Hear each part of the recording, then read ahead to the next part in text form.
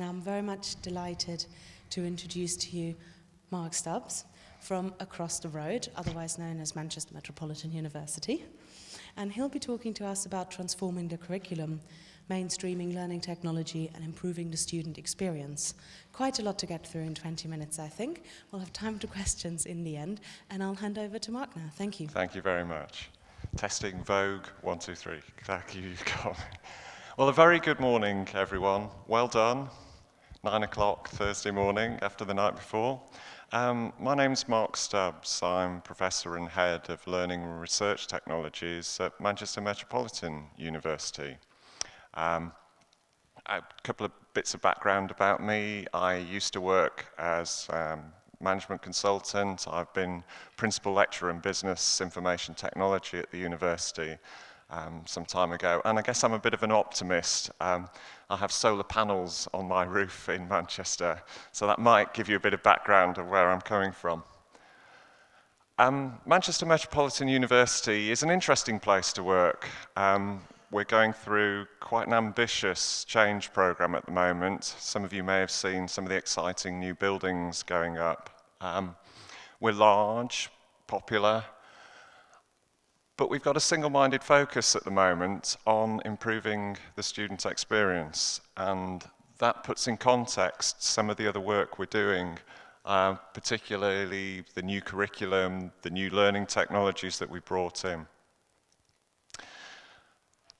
I'm conscious of this audience. I don't really need to sort of go into detail about the student experience because it's a phrase I have some problems with. Um, for me, I guess any individual student's experience is a bit of a curate's egg. Some of it's good in parts, others you'd, you'd like to improve.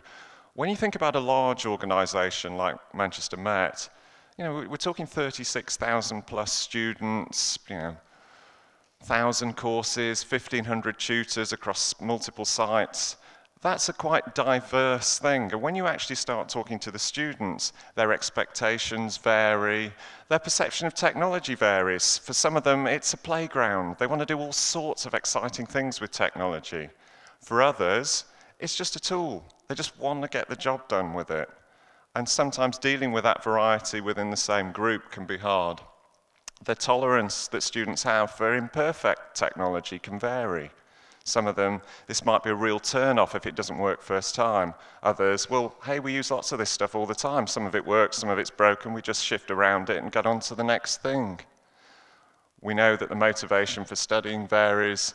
And for some students, their willingness to blur the line between their social identity and their sort of university or work identity varies. Now, dealing with that variety can be quite challenging. I think if I carry on my eggs metaphor for a moment, some of you might be familiar with a very popular physics game that does the rounds on mobiles, which involves some stolen eggs. Um, some questions have been asked about why is our student experience sort of flatlining? Lots of people are making improvements, and in the NSS tables, if you're flatlining, you're going backwards if other people are making improvements. So I guess our confrontation with reality was a really strong need to do something about improving the student experience. Now, we did some quite detailed listening, focus groups. We looked in detail at our NSS. We used statistical techniques to identify, of all the things in there, what was most strongly correlated with overall satisfaction. And we started to see a pattern coming through. There were a series of hygiene factors, things like What's my real deadline? I hear lots of rumours. When's it really due in? Where am I meant to be from one minute to the next? Is that really the right timetable or has something changed? So we did some surveys with students about what they wanted from their mobile devices, and we were hoping we might hear all sorts of exciting things about augmented reality. And what we actually heard was, can I get my deadlines and my timetable and my reading lists? And if those things change, can you let me know? So we got this very strong message back that actually there's a series of hygiene factors that we need to attend to before we can really get on to the stimulating pedagogy stuff. Now, we also then had lots of focus groups with staff. Why can't we do anything about this? You know, we know there's a problem. And the message that came back is, well, we can't change anything because we'd have to change everything. Everything depends on everything else in a university. It's, it's the student record system, or it's the timetable, or it's the quality system. Really, if you sort of unpick all of this, you see lots of buts, reasons why we can't do things. And I guess a lot of them come back to the fact that we're a large, diverse, risk averse institution. What sort of happened that was very important for us is we had one of those very important things happen. We had what's termed a Deputy Vice Chancellor out of patience error at line one. This notion of we can't do it because we'd have to change everything built up and up and up. So we ended up with, well, if we can't do it because we'd have to change everything, and that's what you're saying to me, let's change everything. Now, that's really exciting because that's the kind of top level commitment to change that you really, really need. The challenge is that's probably necessary, but is it sufficient to knock all over these barriers while learning, teaching, doing the business of the university? We felt we needed to structure that enthusiasm somewhat. So we put together a very strong project and program team led by all the sort of key people across the university. You know, we've got the uh, head of quality, the head of the sort of student systems to drive that stream. And we thought about all the things that would need to change to make a step change improvement. We decided that we wanted to refresh the undergraduate curriculum. We knew we wanted to do that on a time frame that would actually have a return on investment very quickly. Our quality systems have been typically geared up to five-year review cycles. We needed something different to cope with change on this scale. Reviewing a thousand modules simultaneously needs a different style of quality approval and enhancement we knew that we were hearing messages about our administrative systems needed to be more flexible, needed to be more student oriented. So we knew we needed to make change there. We also knew if we didn't make the change in the sort of things that students use to interact, the learning technologies, we wouldn't see the benefits from the students, the key people we were hoping to help. So we put together a program board with these four strands of work. It was a bit mission impossible,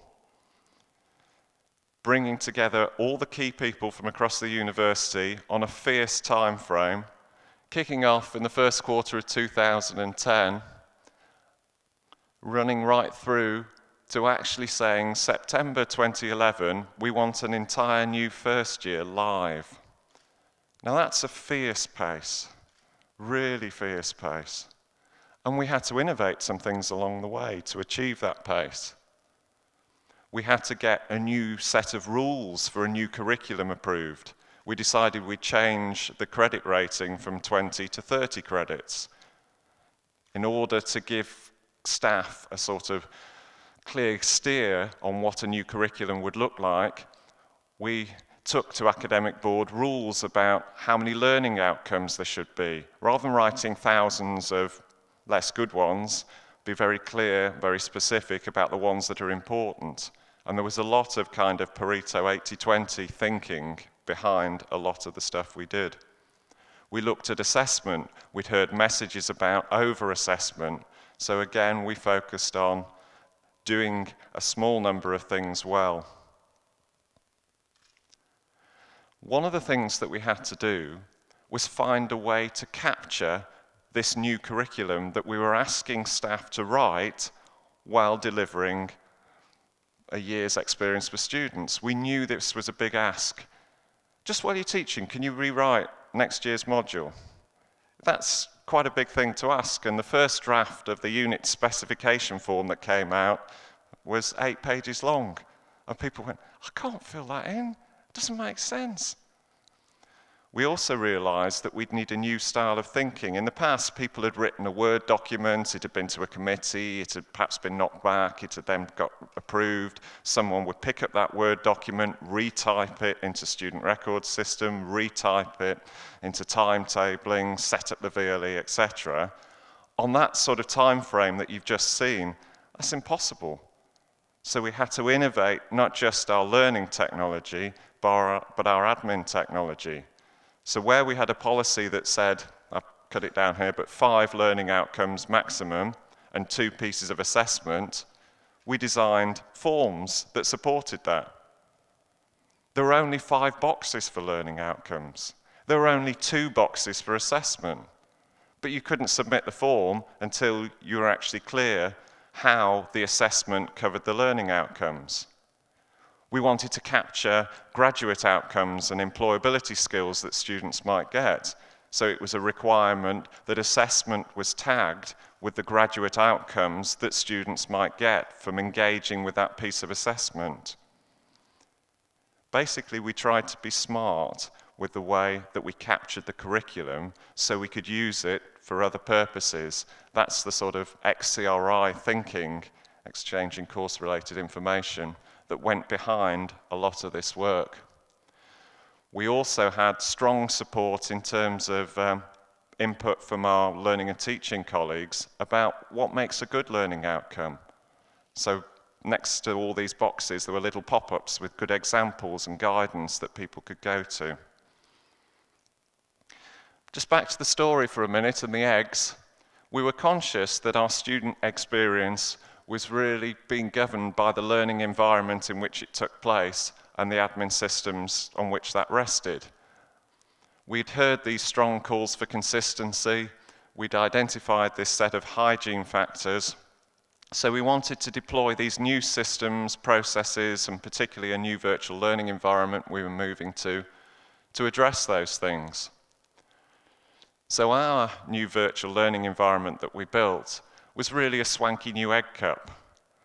Something which wasn't the whole student experience, but it was something in which that student experience could take place that hopefully would be a step forward and would address those concerns that students had expressed to us. And the, what we really, really wanted was to make it personal to our students. 37,000 students or so each receiving a personalized egg cup. To make that possible, we had to be extremely consistent with our, the way we identified curriculum, and we needed web services to pull things together from around the institution and assemble it around the learner. When, with technology, it's both an enabler and a constrainer, what we wanted to do was play to the strengths of each. We'd heard from our student community that they wanted consistency. So, in terms of introducing technology, we wanted there to be a consistent front door to all the things that the institution had. So, we came up with this notion of a core plus VLE, in which students step through a consistent front door, in which things like their timetable, hand in dates, reading lists, all the things they'd asked for were there. But we were conscious that wasn't the end of the story. And academic colleagues might well want to innovate and bring in a whole range of new technologies that were appropriate for theirs. Now, some of those technologies we could enable centrally. We could set up Turnitin. We could perhaps arrange Live@edu for all students, and people might well be able to use that. But other things we were conscious that staff might want to set up for themselves. And in that case, our role centrally would be to support the integration of that so it appeared to be a seamless experience for our students. And Neil and colleagues will talk a little bit more about some of that work later up on the fourth floor after this. Our vision of that swanky egg cup really was one of wrapping the institution around the learner. We wanted all the good stuff that lay in different pots around the institution to be scooped up and delivered personally to each of our students. We wanted to have a timetable, but to make it look like the kind of timetable that students are familiar with from Google, etc. We wanted to be able to sync that to their personal devices. So we did some scraping of Scientia. We found ways to bring that in. We wanted to address students' concern about hand-in dates. So we managed to pull together information about when their hand-in dates were, whether submissions had been received, whether extensions had been granted, what marks were, and again, we delivered that into the virtual learning environment. One of the benefits of this information was that having delivered it for 36,000 students, we now knew that there were 23,000 submissions the week before Christmas. Now, having that heightened state of awareness of about what was going on across the institution meant that we could have the guys with the orange t-shirts from IT ready to make sure the printers were fully stacked and ready to go. This kind of heightened state of awareness about the institution came on the back of being able to deliver personalized information. Our reading lists, we spent a lot of time with students asking them, how would you like to see things structured? We got back a very clear message when you give us a 200 item reading list, it's really confusing. Where should we start? So we put some effort into identifying clearly those items that were recommended for purchase, those items that were essential starting points, and those items that were further reading. We assessed that through Talis Aspire and delivered it back to the student. We had a lot of past examination papers, tagged them with the module code. Again, they were available to all our students. Effectively, we were, what, what we were using the technology for was reaching out to engage our students, providing some business intelligence on how it was working, and automating our processes. And what we've seen, I know there's an embargo on the NSS results at the moment, so I can't give you the full detail, but what we've seen is an improvement in that area, particularly around course organisation, learning resources. So I would say we're in a better position now. When we reach out to students and ask them what did they think, we were overwhelmed by their response. 10,000 students filled in our personalised survey. They left us 58,000 comments. We repeated the survey and took out the final years who were completing the NSS. 7,000 filled in and left us 33,000 comments. This is a massively rich data set about the student experience. Our analysis of it shows that we've still got work to do on course organisation, which you know we have in hand, but something came up in there that we hadn't expected. There was a notion that we need to help students build confidence, and I think some of the work we're seeing on digital literacy and all those things is very important in that regard. But we wouldn't have picked that up without having access to some of this data because we wouldn't have seen it across the institution as a whole. What have we learnt? We've learnt that the technology can do some useful stuff. It can personalize the experience, it can reduce the burden of some of the assessment, and it can help us prioritize interventions. One of the things we saw, for instance, from the satisfaction survey was that a, there was a dip from students moving from first year into second year. Focus group, everybody got together and went, well, hang on, we make a big fuss of the first years when they come back. We have induction weeks. We don't do anything like that for our second years.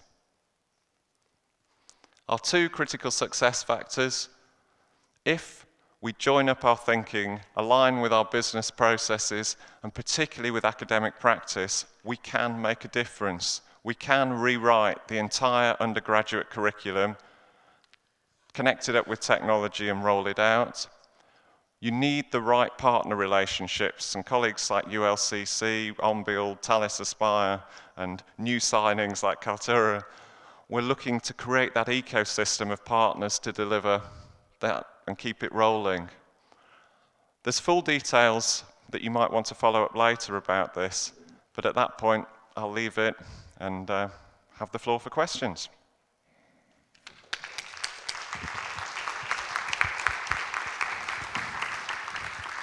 Thank you very much, Mark. What a fascinating insight into all the things you've achieved. Um, well, I have got 10 minutes or so for some questions now. If you'd like to raise your hand if you have questions, and the roving mic will come to you. So, are there any questions from the floor at this point? It's too early in the morning for questions, it seems. There's a question up there. Ruth? Thank you.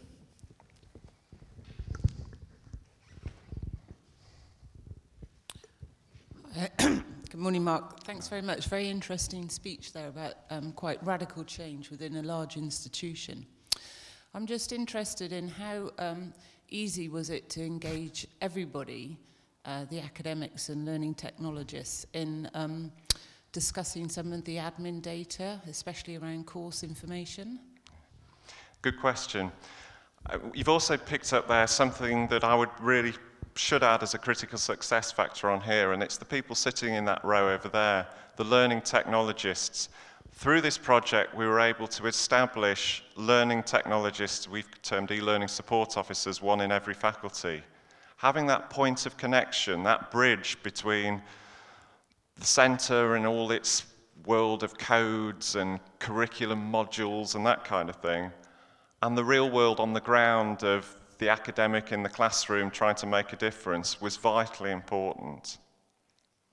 It's not easy to engage staff in these discussions about how you represent the curriculum it is easy to get staff to talk about the things that are frustrating them. The fact that perhaps the student record system is geared around an academic year starting in September and doesn't cope too well with January starts. It's very easy to pull out those, those issues. In the design of that web form, we tried to find a sort of more agile way of giving the technology and the admin processes what they needed but presenting it in a way that made sense for academic colleagues. So cutting down an eight-page Word document into a one-pager that for them captured all the things they needed was a very important way of engaging them in that process. As we trimmed things back and ended up with this is the right things to be on the drop-down list for assessment types, these are the right things to be in the graduate outcomes, we were able to bridge that gap between the world of the academic and the world of data that was needed for that course information to flow, set up the student record system, set up the timetable, set up the VLE, etc.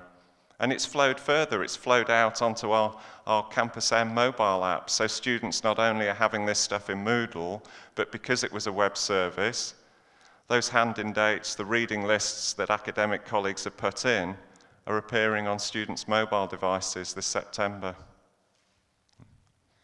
I think there was a question here.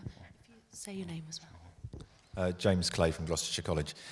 Um, Mark, you know, to me this is quite exciting, you know, and somebody at the back said it's radical. Mm -hmm. But then I kind of took a step back and actually, you're doing what we should be doing. Yeah you know, th- th- to me, this isn't radical. This is this this should be normal. Yeah. And what we're actually doing, and most organisations aren't operating in an efficient and effective manner. So that's the kind of first part of my question. But the sec- which leads on to, you know, it, you made it work at MMU. There's quite a few of us who are probably going to go back and want to do it at our institutions to make them work as they should. Yeah how on earth do we do that? I mean, you know, what was, have you got any kind of like suggestions or recommendations to get our, well, it won't be in my case, it would be a principal, but DVCs get that kind of like, that lovely quote, isn't it? Patience, uh, patience, uh, patient, uh, whatever. I think the top tip would be don't waste a good crisis. The fact that we're where we were with the NSS and that we'd been trying lots of things and it just wasn't having the effect meant that we really had to bring everybody together to focus on that problem. And you're right, what we've been doing is moving the institution into a better place. And now we can start the exciting things. Now we can build on this and do the uh, things that we want to do. But we've had to put in place the business as usual that we wanted to see in order to be able to do it. And that, yeah, we needed the senior management buy in. I mean, this had the, the, key members of directorate in meetings regularly, every couple of weeks, understanding, well, if, well, we'll just have to change the academic process then.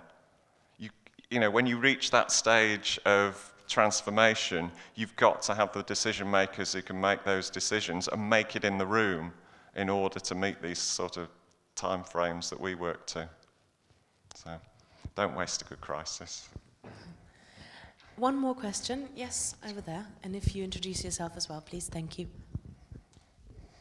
Hi, John Trackler from Wolverhampton University. Sorry, I agree with all that uh, James is saying. Is there a mechanism by which you stop yourself being in this position again in five years' time? Or is there a kind of coping with the ch- change of change? Yeah, that's a really good point. I think what's interesting is to look at some of the legacy stuff from this work. I've already mentioned the e-learning support officers to help take things forward on that regard. One of the things that we really beefed up as part of this project was our business improvement team. We brought them in to understand how this depends on that, and you'll have to do that project, and I don't know, we'll need to have it approved and back from the externals by February if we're going to get it into the student record system in March, etc. So we had that initial program management process review stuff brought in for the project, but we've now mainstreamed that. The other thing we've mainstreamed is this student experience survey work with the levels of analysis that went behind it. When those students submitted those comments, each one was tagged with the module code and the program code. So the module leader, program leader, got that information back straight away. The challenge for us was looking at it across the institution as a whole and trying to spot patterns that ran across the whole. That's, that was more difficult, and that's where we've got some work to do to establish a kind of business intelligence infrastructure. But that's what we're working on at the moment to stop us slipping back on this stuff. Thank you. Do we have any online questions? Yes, there is one. Um, it's from Dyslexic IT. That's the name. Um, and the question is How did you address the change to the tutors and lecturers? So I think, again, this partly comes back to the role of the e-learning support officers, but also the fact that we had to have champions in every faculty who were behind this initiative, carrying colleagues with them. And I think there's a, you, you might want to have a look on the JISC Design Studio to have a look at the, an article on there called In the Throes of Change that uh, captures just how difficult this was from a range of different perspectives. And there's some nice insights in there about what it felt like, because it isn't a sort of rosy story from all academics across the institution getting, as you might imagine. It was challenging, it was hard, it was a big ask for people to do this on top of their day job. But through a bit of persistence, a bit of, we've got to do this, we really do. And by trimming things back, don't expect people to fill in an eight pager. Ask them for the one page of the things that are needed. Using that kind of approach, we carried people with us. Thank you very much. Um, I'm afraid that's all we've got time for.